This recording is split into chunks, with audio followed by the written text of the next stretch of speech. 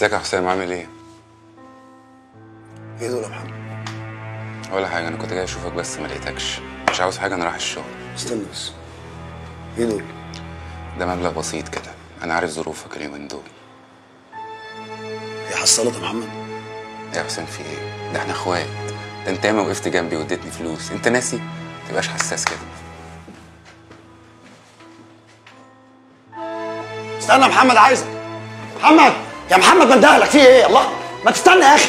يا حسام أنت متعصب كده ليه يا حبيبي؟ مش عايز نتعصب وأنت جاي ترمي لي قرشين بعد ما كنت بديك المصروف؟ يا حسام إحنا ظروفنا كلها دلوقتي اتغيرت. وانت بتعايرني بظروفي بقى. معاش ولا كان اللي يقول كده يا حسام. يا حسام محمد ما يقصدش إن هو يضايقك. يا حسام يا حبيبي أخوك بيعمل كده عشان المفروض كلنا نقف جنب بعض في المحنة دي. يا حبيبي أنت أخويا الكبير ولو ما وقفناش جنبك دلوقتي هنقف جنبك إمتى؟ يا عم أنا مش عايز حد يقف جنبي مش عايز حد. أنت ليه يا حسام رافض إننا نساعدك؟ مش عايز مساعدة من حد.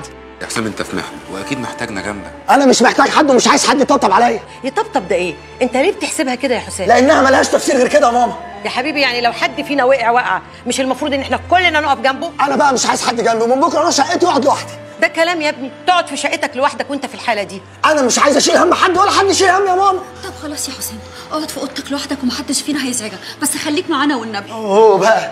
لا لا لا أخوك حالته صعبة قوي خلاص يا جماعة محدش عنده هو متعصب كده. يعني إيه يا محمد؟ هنسيبه ينفذ اللي في دماغه؟ لا مش هنسيبه بس نسيبه يهدى ومحدش يضغط عليه. وإحنا من الوقت للتاني ده بنشقر عليه يا شاهين. يا ابني أنا خايفة لا يعمل في روحه حاجة. لا ما تخافيش يا ماما. حسام عاقل وعارف حدوده كويس قوي